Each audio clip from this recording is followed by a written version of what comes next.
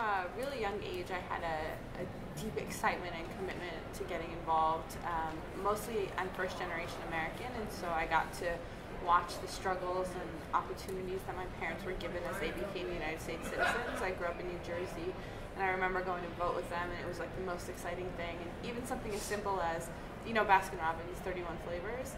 My, there's like this ice cream store, and my mom was she was just so shocked by the fact that in America you could choose from 31 flavors of ice cream, right? And it's such like this silly thing, but I remember being so excited about the choice and opportunity to help myself and those around me. So from a really young age, it's been part of my life.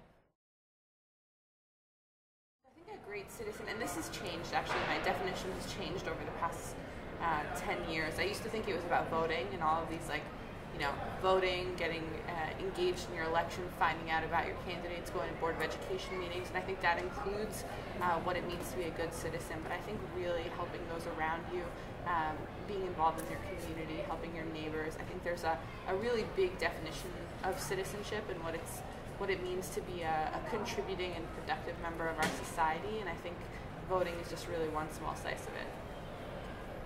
What skills and knowledge does a great citizen need? I think you have to have patience. I think you have to um, you have to be able to see. Um, so, so one of the things that I think is really great is is um, from the people that have been transformative in my life. They have patience, and then they have this sort of persistent ability to see good in other people, and I think that's really important when you're building relationships, especially on the on the community level.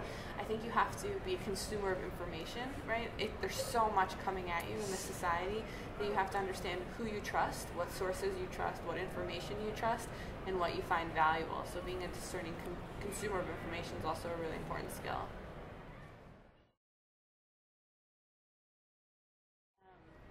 To be willing to engage with people who have diverse opinions. So you have to be tolerant. You have to be um, respectful. You have to um, be open-minded. I think that's a really important thing, especially in a, in a society that has so many diverse viewpoints. Uh, and then you have to be, I talked yesterday on the panel about the need of persisting. You need to be persistent because you're going to fail, your candidate's going to lose, you know, the tunnel's going to pass or not pass depending on whatever side you're on, and you're going to have to keep going because you can't get knocked down by any of that in the in the in the long-term uh, citizenship pursuit.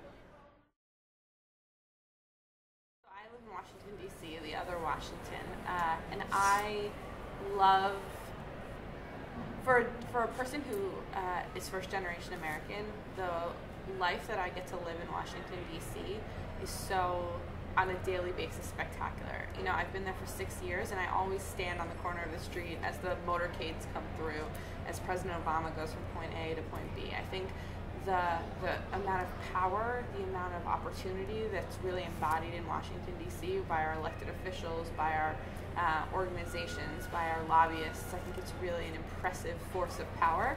Whether that power is always used for good or bad is something that I wrestle with personally, but it's really just um, such an amazing uh, global community in Washington, D.C., but then I also live on this beautiful street where none of my neighbors look the same as each other. Um, the diversity of my neighborhood, the sort of music that you hear late at night, the, the community gatherings that you see over the weekends, it really uh, is a community of people looking out for each other and uh, getting to know one another, so it's really great.